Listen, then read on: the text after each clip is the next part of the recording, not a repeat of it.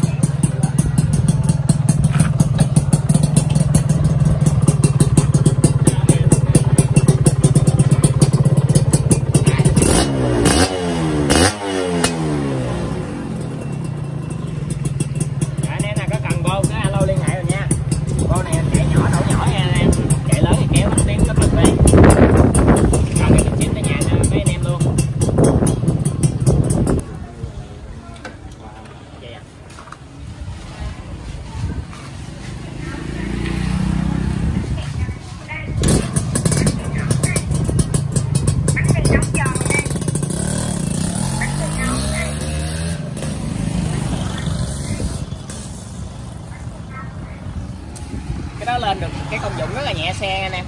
khi anh em đề bay rất là nhẹ nó cần cái alo liên hệ